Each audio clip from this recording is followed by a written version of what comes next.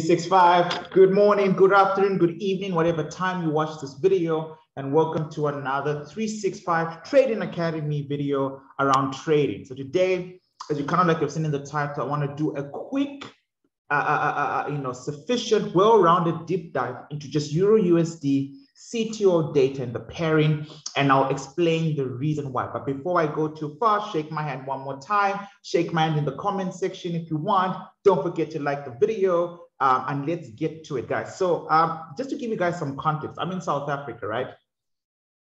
that's kind of like where I'm based, uh, you know, as an academy, as a human being, my family, etc. And South Africa right now is going through what's called national load shedding. So basically, the government switches off power across the country to kind of like help stabilize the grid, basic corruption stuff, they, you know, whatever. So there's no electricity for about two hours a day on different times. So maybe about three power cuts in a day. We have a generator, but we can't use it because my little girl hates the sound of the generator. She cries, so it's, it's useless. So since load shedding, uh, when power when, when power outages happens, I normally go to the golf course and try and do about nine holes, and I come back. And I bumped into someone who says they watch the videos and they, they design their own COT spreadsheet. That's why I wanna, that's kind of like where this whole video came from. And we're looking at the COT data, right? And, and, and what they believe it was telling them and they thought this is what they need to do right for their trading and we, as we started to speak and actually had a good game by the way we started to speak around his way his interpretation of the data his interpretation of my videos and his interpretation of the charts I thought, geez, I need to kind of like quickly come back and clarify a couple of things in case a lot of people still are not reading this thing properly. Now, again, COT data reading or institutional inflow readings is a big part of my module three. So a lot of people don't know this because they haven't had access to it yet, right? If you don't forget, just check out the links down below if you want to take the course. You've got about nine days left, at least from the from the day I'm filming this video, right? Nine days left before the 75% offer expires, right? We spent the whole month of April celebrating another anniversary as an academy. And for that, we gave out 75% off for the full course. But let's just quickly have a deep dive into uh, you know, a deeper dive rather. And if you remember, if you want to watch the full video of, of, of, how to design or how I design my master trader spreadsheet, which is something that all students get access to, right? So if you're a student in the academy, this is always updated by me for you, right? You already have this, right? But just watch this video above, somewhere up here. There's a video mastering a trader's master spreadsheet, so something like that. Just, just click right click and then watch this bit, that video after this. But real quick, let's kind of like unpack what COT does, when it comes out, why it comes out, and how to correctly read the data, because that's actually quite crucial, right? So uh, I promise this won't take time, won't be like my longer videos, but I do miss doing stuff like this. Please comment down below and tell me this is the kind of content you want.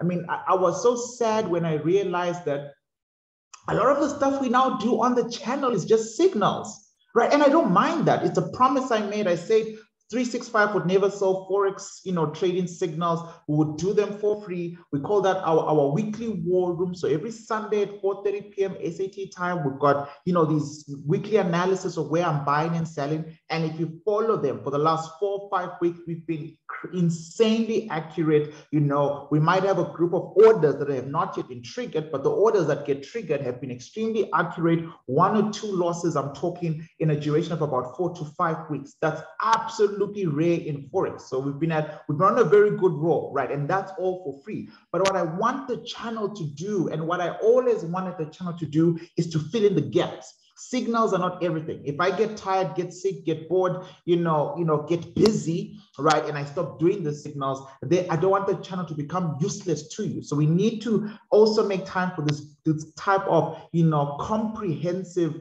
uh, uh, content where there's a lot of learning and empowering, right? So that's why I think this video is very important today. And if you feel that way, please do leave me a comment down below. Talk to me, give me that feedback so that I know, you know, it, it, sometimes as simple as just liking the video. Then I know I'm on the right track, right? So before we start any type of Euro USD on COT analysis, let's just remind ourselves of a very important framework. This is kind of like the affirmation that I am making everyone say out loud at least five times in my home. And I'm crazy. If you know me, if you know me very well, you know I love affirmations. This is my whole trader's affirmation for the year 2022. Everything I put into here normally comes true. As long as I follow the consistent steps. And as a trader, you need something like this, right? We'll bring back the podcast. We'll start to reinforce these rules around affirmation, subconscious, and your trading. It'll come up a lot in our module four for trading psychology. So again, book your seat with the link down below because when those things start to happen and the prices go up, right, at least I've done my part here. But this is important for, for, for anyone in any walk of life. But in your trading journey, this is one of the important things you have to do. Every day in every way, I'm getting better and better. It's a, it's a one word sentence. It's for free. You, you're not paying a guru. You are literally planting into your subconscious mind. Please take this seriously, traders every day in every way as a trader. I'm getting better and better. I'm getting better and better with risk management. I'm getting better and better with equity building. I'm getting better and better with my day trading or swing trading with building positions. I'm getting better and better with rule following. Every day in every way i'm getting better and better. Let me tell you something real quick. The reason why you break most of your trading rules don't care for them. The reason why you take trades that you didn't plan and don't take the trades that you plan the reason why you are in 10 signal groups, 15 Telegram groups, 45 Facebook groups is because you have no consistency within yourself. You lack the confidence and the faith to do it yourself, and you will not change. You won't just delete and exit out of those different groups that are telling you to buy and sell at the same time. It will never happen. You got into those groups as an act of habit. So, what you need to do before you change the habit is you need to create a system of auto suggestion. You need to make sure your subconscious mind knows there is better. You deserve better. You can do better. And it's, it's as simple as saying every day, in every way as a trader, I'm getting better and better. Maybe you fix risk management for the next month every day in every way. And I'm going to tell you, I'm going to read you a quick quote from, from Napoleon Hill. I love Napoleon Hill you know, dean of personal development, Napoleon Hill, Earl Nightingale, the, the beautiful 1930s, the stuff that came out of the Great Depression, it has, has been an incredible influence. And, and just on this quick topic here, and I was reading this you know, yesterday. Concentration, right? And by the way, concentration means visualization, right? So, so, so for Napoleon Hill, concentration is a big part of how you visualize your mind, right? So, so, so, so I'm going to get into Euro USD. Be patient. This is important for your trading. Concentration in eh, eh, put whatever in fatherhood, in salesmanship, in trading. Concentration slash visualization in trading means planting in your conscious mind a definite aim. I will have 743, 500,000 US dollars by the end of the year from my private trading account. That's my definite aim, a definite aim. Uh, idea, plan, or purpose and the continuous focusing upon it of the conscious mind. Continually focusing on what? On your trading account. No, you need to be focusing on this way more than you are focusing on your trading account. That's the irony right? If all you think, if, if you're looking at but the same mind that is built to blow accounts, it doesn't matter how many trend lines you buy, how many systems you buy, how many indicators you put in. Is the problem is you've got to cleanse the mind. And then it goes on to say, it means the ability to control your attention and focus uh, and focus it on a given problem, which is the attainment of your trading goal. That's the problem until you have solved it, until you've reached that goal. It means the ability to throw off the effects of the habits, breaking your risk management, failing to grow. If you're a day trader, not, not knowing when to get out. If you're a swing trader, getting out too early when there's still a lot of money on the table. Whatever that problem is, it means the ability to throw off the effects of habits you wish to discard. You want to stop doing that, those habits, and the power to build new habits. It seems it means complete self-mastery. It won't happen every night. So every day I tell myself that in every way as a trader, I'm getting better and better. And the louder I say that vibrational sounds, speaking to my subconscious mind, my mind goes to sleep at night. When I wake up tomorrow, I start to believe it. You will start to believe it. You got to be consistent, though, guys. Right. Number two, before we get into the charts, your bank account, your trading account, your investing portfolio is a reflection of your standard. It is not a reflection of the markets going against you. It's not a reflection of your broker going against you. It's not a reflection of liquidity rates. We know liquidity rates exist. That's how the business works. It is a pure reflection of your standard. You want to get rid of the current standard you have. Number one, you, need to have a whole new way to look at the markets. If you're still not a 365 student, Once again, 75% off, check that link down below. But more importantly, even my trading strategy, believe you me, as much as I want to grow my trading academy, it is absolutely nothing without a mind that is ready to take this thing by the horns.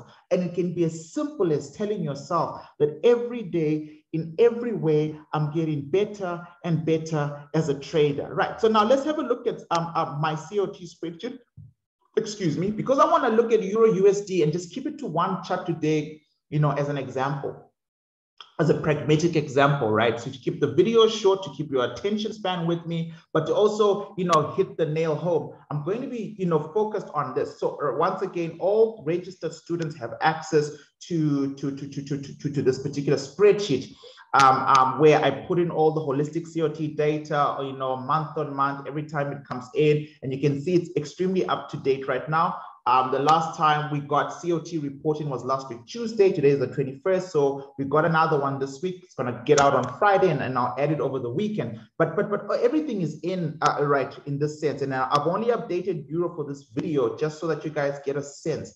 Now, in the COT video that I told you guys to, you know, right click or watch after this, this video. Now, I spoke a lot about the power of having a 13 week average, right?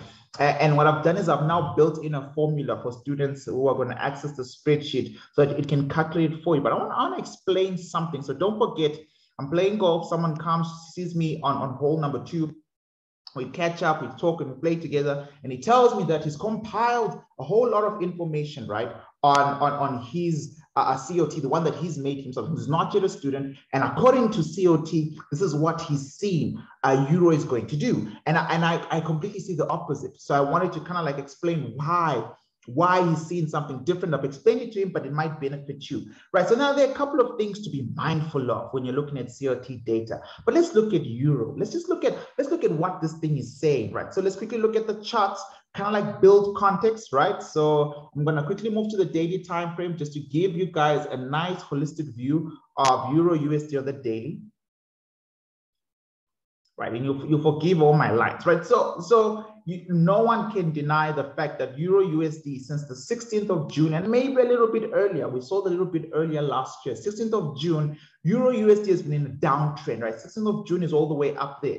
And if you look on the DXY chart, the dollar chart, you cannot forget, if you've been with me for a long time, we had positional trades, we held them and we closed them this year, by the way, like mm, beautiful buy trade on the dollar as we were selling Euro USD. Unfortunately for Euro USD, I got out last year, uh, which was kind of like down move, you know, you know, like really held as much as I could, but eventually, you know, closed somewhere here. Uh, a beautiful swing trade for a couple of months nonetheless, right? But never actually got a perfect entry for swing for swing trading anyways till then. Still waiting for one right now. But the thing has been on a downtrend, right, since last year, June, right? And that's because the FOMC spoke about how they were going to have to move to ending you know, QE printing money. There's going to be tapering last year, November, blah, blah, blah, blah, blah, blah. So the dollar got strength and the euro fell, right? That makes a lot of sense. And so this thing has been in a downtrend. I want to say this again. Euro USD has been on a downtrend since last year, June, all the way to this year. There's, there's no uptrend on the chart. I am on the daily. I can go to the weekly to get a, a much more finer view. You can see it for yourself. There's to, I know there are a lot of lines, but you can see the candlesticks.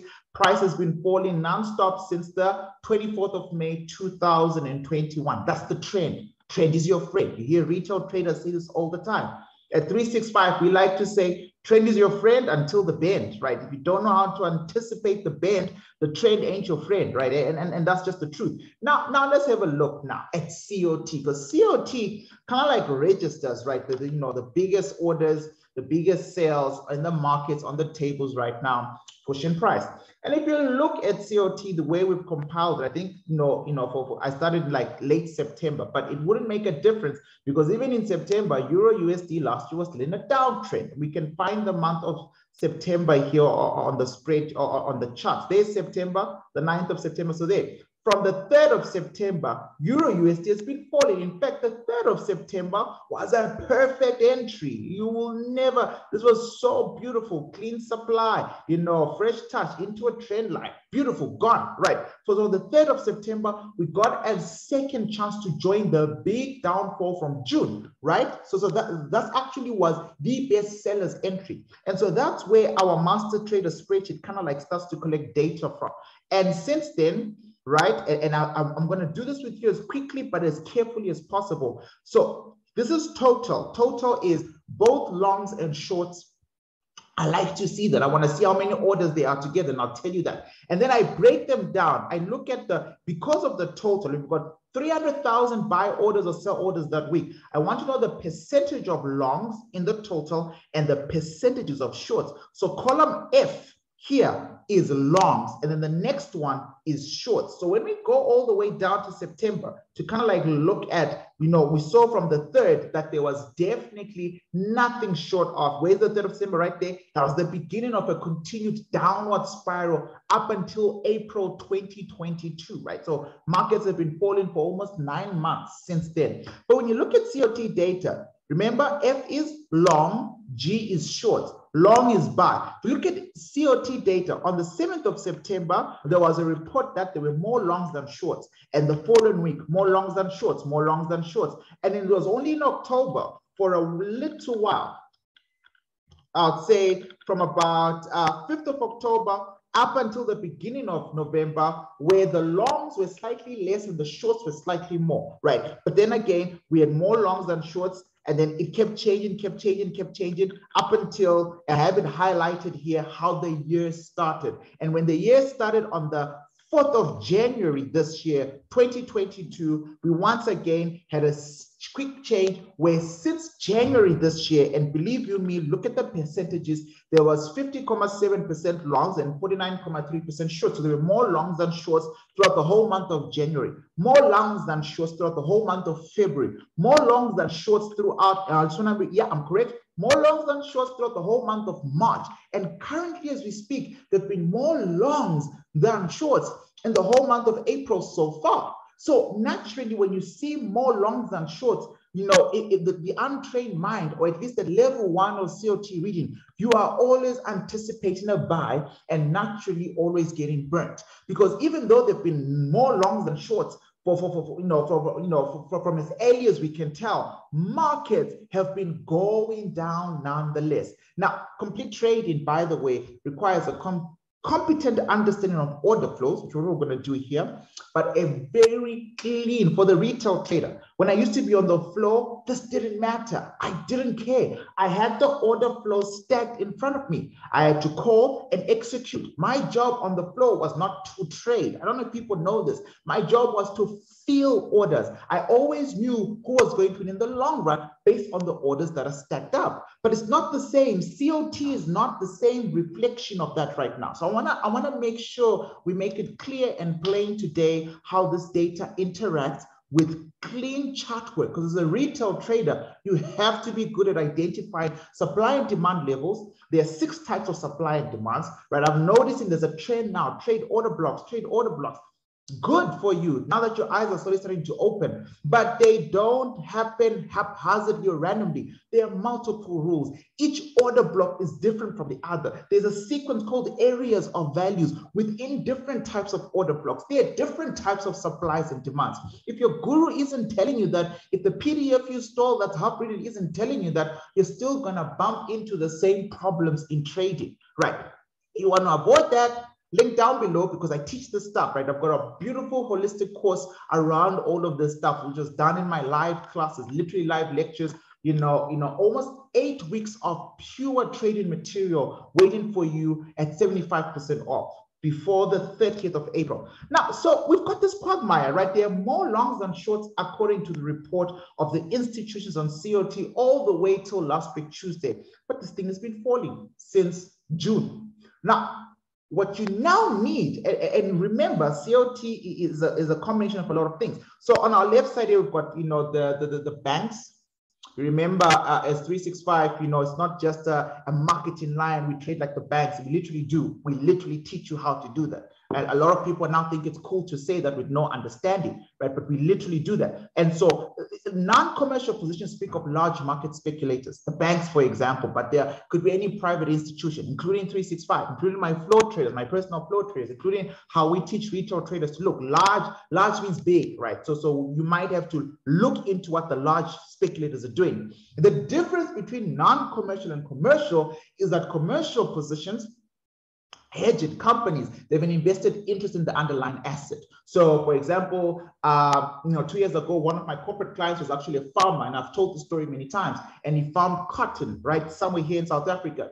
And his job is to be a farmer, but he came to us to hedge him in the cotton market in case his crops don't do well. In case in the Eastern Cape, because when I'm in the Eastern Cape, it's a province in South Africa. There's a lot of drought. He wasn't sure. He wasn't sure how he was gonna, you know, you know, how his crop was gonna look in 2020 just before lockdown. And so we hedged him into the market. So the hedges have an invested underlying asset on that particular thing. Whereas large speculators, we, we, we're not that invested into the underlying asset. We just market speculators and we make money purely by being right if we are right about the direction of flow. All right. I hope that makes sense. So what I then do on my CO team, what you should do for those of you who are going to make the unfortunate mistake of not moving forward and joining 365 fully, at least to empower you as you go by, because at least you have at least one of the pieces to the puzzle, is you need to have a system on your spreadsheet, or you need to have a system when you're looking at COT data to really, really understand what it's trying to communicate to you. Now, long, short, right? So we've got the total orders, the buys and things. So, and then I like to look at the net positions, the net positions of exactly what's going on on the speculators end, the large speculators, non-commercial, the net positions of the hedge. I like to see that. Now, one thing that this person who was talking to me on the golf course, and I'm assuming some of you make this mistake, completely forgot about the sentiment indicator that I created. The sentiment indicator is just a big difference between the net positions of the banks and the net positions of the commercials. If the net position, ladies and gentlemen, is negative, then there is still a massive bias to the downside. If the net position is positive, or naturally there is a bias to the upside, it's still not enough information to work on. But I can tell you that as much as Euro USD from as far back as we can trace has always had more longs than shorts Euro USD has also been extremely consistent in having negative uh, net positions on the table. That means all the orders, when you compile them, balance them, distribute them, fill buy orders and fill in sell orders, all of them, generally speaking, always lean towards having more sell orders on the table. And we can see that on the chart. So while the large speculators and the banks are continuously pushing euro up, right, to maintain some type of buy bullish-ish, bullish-ish momentum. If you look very carefully, institutions who are slightly bigger, slightly larger, on average, right, the hedging corporations have always had more shots on the table. So while they had less longs, unlike these guys with more longs, the difference in shorts that hedge funds put in outweigh the longs in general. And so your sentiment indicator will tell you that stuff. Will be like, look, man, I can see that these guys are buying, but these guys are also selling. In general, a flow trader will get the instructions that overwhelm the table, where there is the most imbalance. That's where the term imbalance came about. And if the imbalance is to sell, your chart will fall. It doesn't matter what your trading strategy is telling you. If the imbalance, if the sentiment indicator is pushing for more downside, this is what you're going to get. You're going to get more downside. You're going to get many beautiful green days, and those many beautiful green days will lead to many weeks of selling. All right. And that's the balance. Number one. Number two, on my COT report spreadsheet, I have another function that I, I would like to talk to you guys about the 13 average week. Now, I say this and I'm going to repeat it. Excuse me. Because we like to trade like the banks and because we do, and it's not a sound bite, I want to bring this to your attention one more time. One more time. And please, please try to remember the practical approach to all of the stuff. Banks think in three months. If you've been to any of my lectures and classes, you'll know where I'm going with this. We call this quarters, financial quarters. The rest of the world calls it quarters, but in the finance sector, the, the short-term perspective, right? Because remember, banks are long-term investors, long-term traders. Three months is a perspective lens, financial quarter you you barely ever get day-to-day trade in big institutions right? You, you get shorts maybe in the stock market world but but we're looking at the flow of money that regulates the exchange forex exchange around geopolitical trading and importing exporting of products between countries for pricing.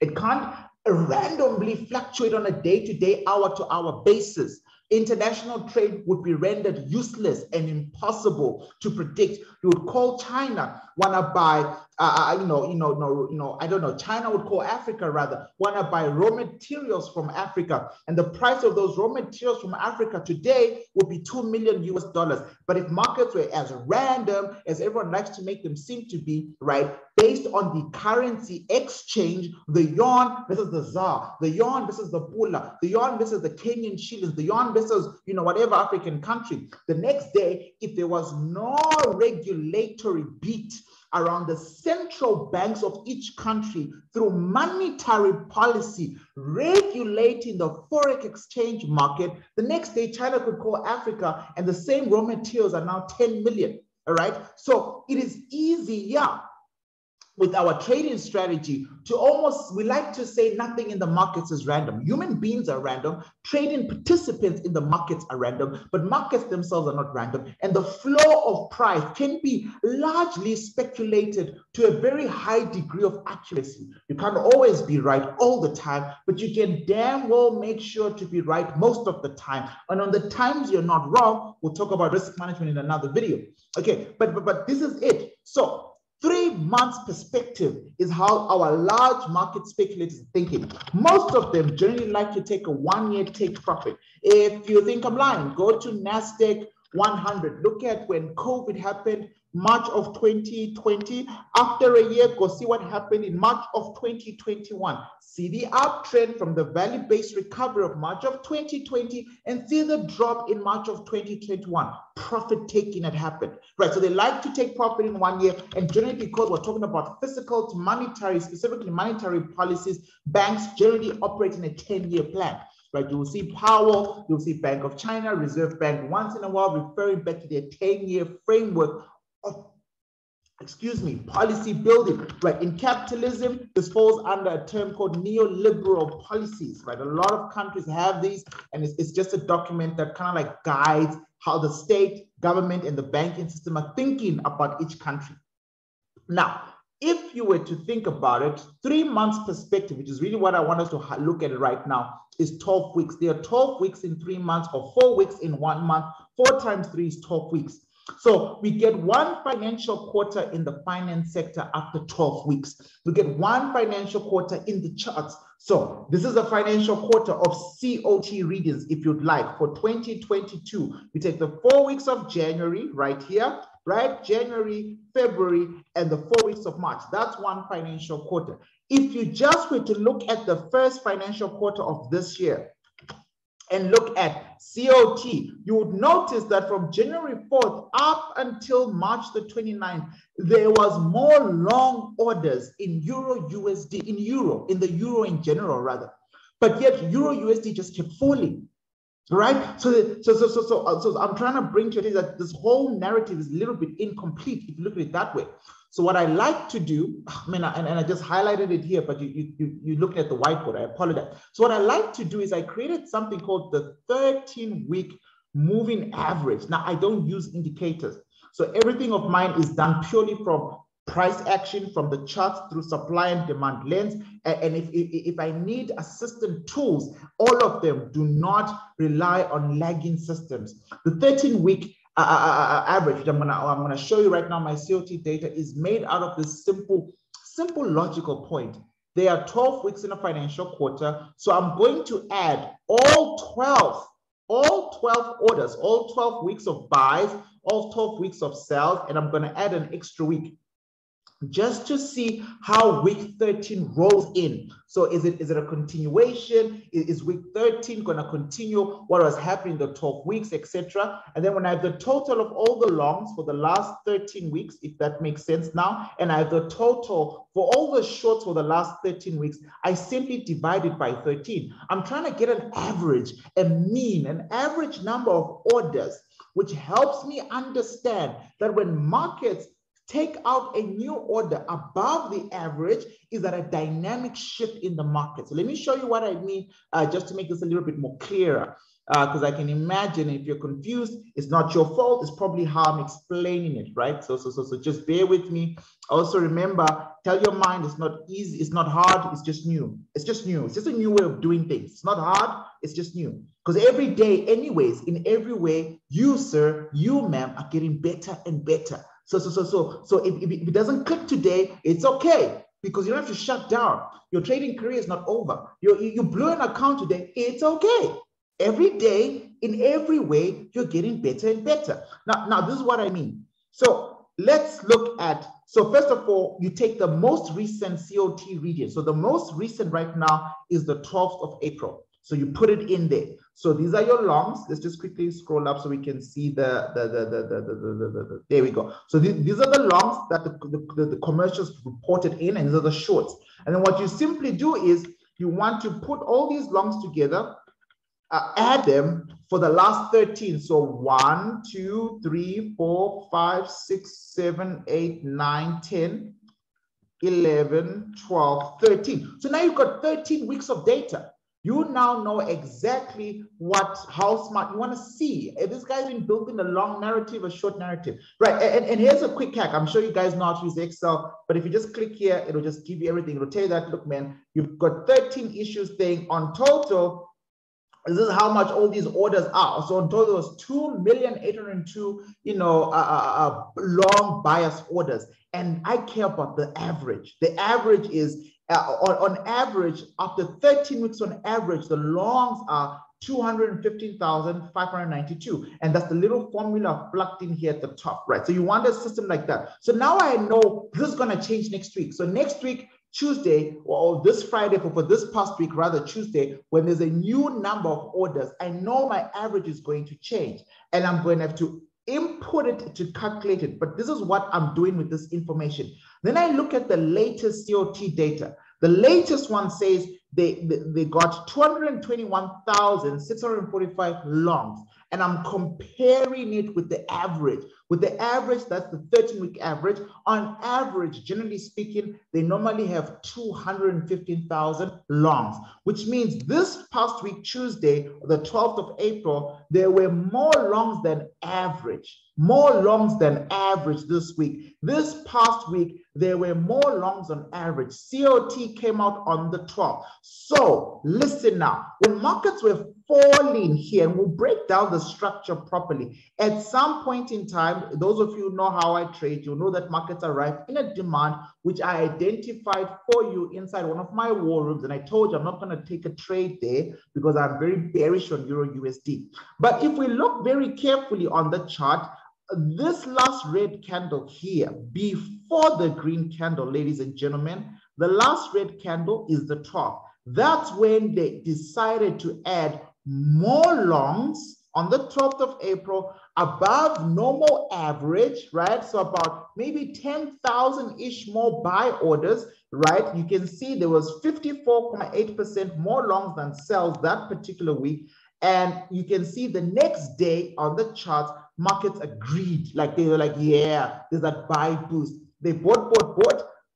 Believe you me, retail traders bought, bought, bought, and then they sold against them, breaking this demand. And you'll hear me talk about this demand being broken the Sunday before it even happened, right? How is this demand broken? Once price, a candlestick, a wick goes beyond my carefully drawn areas of value that are carefully drawn in order block or, or a PCP, potential continuation pattern, which is one of the variables in supply and demand, I know never to buy that zone again. And then because there were more longs above average that particular week of the 12th, you can see it took about two or three days later and markets started to buy back up, buy back the bottom. So that's what's happening right now, and that's why we have a green, greenish week, so to speak, in the in the risk on equity, risk on you know, you know, assets like Euro USD. The shorts, however, there was a 182 uh, uh, uh, uh, shorts in the market uh, the, the, that came in 182,585. And if you look very carefully, this is also above average uh, um, um, um, um, selling pressure in price. So now I've got extra selling pressure than above average, slightly more buying pressure than above average in the chart. Uh, and this is just, uh, remember the total, normally there's about, you know, 30 something, 39, 393, sorry, something thousand orders. This week there was a little bit above more buy and sell orders on the table because column is the total. And then we've got the, the, the basic percentages and, half of that. So this, this kind of like I'm building a narrative with COT. So now I know I've got slightly a bit more buys than usual, but definitely way more sells. I mean, 182 jump from to, to 178,000 jump, right, than usual, right? So the selling pressure somewhere is building up, but that's not enough what then I need to look at then is the sentiment difference. And my sentiment indicator is despite them going above, above average in the longs, on the table, they are still, they are still negative. There are still more sell side orders in general on the table, number one. Number two, even the average 13 week average uh, sentiment indicators telling us that on average, we generally expect negative, uh, I think that's 27,000. We generally expect negative 27,000 uh, sell orders and we're slightly below, but everything is still negative, right? So when I come back to the charts, I'm happy for intraday traders to buy and make money. There's nothing wrong with that. I'm a swing trader. Right. But even as an intraday trader or short-term swing trader, you want to start understanding what's going on. The buying here might not be trading buying for you. The buying here might be banks preparing the way for something. Because this chart is still skewed to the downside, thanks to understanding COT correctly, thanks to looking at something as simple as the trend, right? I have no choice but to assume a good position to start to look for sell. When I want to sell, I want to sell away from demand, number one. When I want to sell, I want to sell when a demand has been taken out. That's been done, number two. When I want to sell, I want to look at the previous recent leg in the chart to see exactly what on earth was going on. Am I crazy to sell? Will I be selling by myself? Are institutions likely to sell with me? And then when all these things are clear, I want to make sure that all my rules for a specific supply, this is a module two supply, bearish engulfing pattern, which is its own imbalance rule. I want to make sure that the area of value that I'm dealing with is fresh or at least has had a retest, right? I'm not, a, I don't want to trade like retail traders. Retail traders love to trade at market memory. They love to see a support or resistance get hit many times, and they've been taught to believe that because it's been hit many times, it's strong, it's firm, price will definitely bounce from there. I know that's how you're going to get, uh, you know, you know, liquidified most of the time. So then I start to assess this actually might be a very good place to sell again. I know that according to Euro USD, most of the time when the buys are more than the shorts, which has been its history, you just get a whole lot of buying, buying, buying before a whole lot of real selling. And I don't know when this buy trend could stop. Now, the other thing to look at is just to actually look at what happened the leg before, before I wrap up this video. You will see that Euro USD for a while had dropped and then arrived in a demand. And I'm talking all the way back on the 7th of March, 2022. And then markets read back into a supply. This is not kind of like the video to teach you how to identify supplies and demands. I, I, mean, I've, I've got like you know a proper lecture series around in my course you know so so so that would make my videos extremely long. I know a lot of people love short videos straight to the point concise and that's good. But never take that type of content or rush for 20 minute baked noodle information at the expense of your account you're going to have to be dedicated enough to put in the time sometimes to finish a long video to get everything that will benefit you. You know, it's up to you, you know, but it's your time. You know, but, but, but I do believe that, you know, rushing for quick fix based things is how you quickly lose money, right? So it, I, I found this interesting, right? If, if euro is, it's now time to go long. And remember, by the way, our big analysis was euro USD arrived at a monthly supply, monthly supply number one, which was this bullish engulfing candle. Look how deep we now in so. And I told you guys, those of you who've been following me for a very long time, I told you guys that, look, man, this is only B we are coming from A. And if we're at B, but markets want to go to C, the quickest way is to go through. I, I, I repeated this many times. I said we are going to remove this demand. I guarantee you, buy low, sell high, no matter what, no, no matter your market logic, no matter your group, we are going to remove it. And we're starting to see that you never ever take a trade like this. 365 students. We know for a fact that the order flows, the buy orders inside the zone are now so weak. I mean, markets have deeply penetrated the zone to the lowest and last daily demand inside the zone. And even that one is now broken. So yes, there's upticks, there's some buying, buying, buying pressure right now, but, but, but, but and that's for the novice trader, right? They're going to get a lot of retail traders trapped into that buy momentum, and we better be on the right side of price. Not trading advice, not finance advice, but I'm definitely looking forward to selling against a lot of these people. But here are the clues. Markets bounced off this demand. If this demand, which by the way was inside a governing demand, a monthly demand, and then we should have had, you know, an upward streak. But because price failed, right, it was stopped by another daily demand. You get one, two touches, and then markets created a demand right there right, another demand. It was stopped by a daily supply, sorry, and then created another demand, right? Let me just put a make this arrow white because I know there are a lot of I don't want I don't want you to be confused. See by that white arrow right there, there was another demand that was created. So so so so we're looking in hindsight, and also you're looking for these things in the future. When markets create a demand, and those of you rush to buy, you're clearly not paying attention to the war because we agreed we're not going to do such. We're not going to do anything that crazy, right? You know, Market then ran it into a daily supply and broke that. Didn't test it, didn't they just broke it. So that for me is confirmation number one. You're not taking out supplies, you're breaking demands. You're not making room to go up, you're making room to go down.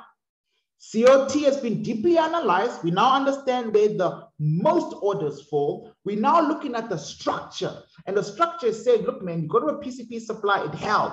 PCPs, guys, depending on how they are formulated, depending on who's teaching supply and demand, this is a very specific type of supply and demand. It's not just an order block. It has clean rules when it comes to areas of value. And one of the rules are this should not hold. After one, two touches, this should have rocked all the way up if markets wanted to remove it. In fact, on this cell here, I, that's why I'm not in Euro USD because I follow the rules. The rules were, hell no, you can't sell there again. That's why I'm not in it, even though it worked. I could not have risked capital to sell again because this is not the type of order block that can sustain several amounts of hits. There are specific types of supplies and demands that can. This is not one of them. And because this is one, uh, one of those areas that should not have handled the third touch and still fell, I let it go. But the third touch was so powerful, it created a new supply bearish engulfing pattern, which is now there in front of us, which if I'd been paying attention to the chart, I probably would have waited for a retest, which we never even got anyways. But what's interesting is it took out demand, this white demand here, as price fell back to the daily demand, closing below, right, the last time markets arrived here. In fact, closing all the way to take out the second demand. That to me, again, bruise of very much strong sell pressure. This, ladies and gentlemen, is what I tried to sum up in an amazing game of golf about 48 hours ago. And I really hope this video helped you. Please, these are all the videos I want to make for you. In the next video, I'm going to be covering something that's quite exciting, uh, an investing idea that I'm gonna I'm gonna make public on YouTube. A specific crypto token I'm gonna buy. I'm gonna explain why I'm gonna buy it. It's kind of like linked to the Elon Musk Twitter debate, so please don't miss that video. But I'll be teaching you guys how do we generate good stock investing, crypto invest, even trade. How do you generate a good trade idea? The media is saying this, they're pushing this into your face. There's a narrative, go buy here or go sell this, and you always get burnt. And I want to show you how we use smart money concepts to help us really think through what the top 10% are doing. If you like this video and you watch till the end, shake my hand one more time. You know, stay blessed, and I'll see you in the next one. Uh, uh, please don't forget, make use of the links down below. There is a lot of stuff that we deal with in the Trading Course Academy. Module one, the Mastering the Basics, about 20 something two hour lectures on the different types of supply and demand, all the rules. Module two, My Trader's Edge. Module three, specifically catered for micro trading, day trading, understanding the all the different types of things that happen on the much more lower time frames to purify your risk to reward ratio. That's number one but also to sharpen your, your, your income skills so you can actually start to accumulate and grow your capital. Module four is the best thing I have ever put together, right? Trading psychology, which is where I think most traders should start. Trading psychology should always have been the, you know, the, one of the first things I did, but because of time, you know, over the years, I'm finally ready to teach it, right? I only teach something that I'm finally comfortable and confident in doing, right? And, and I believe I've, I've reached a point of, of, of master competence. And so now I can finally share it, right? So 365, one more time, shake my hand, and I'll see you in the next video. Peace.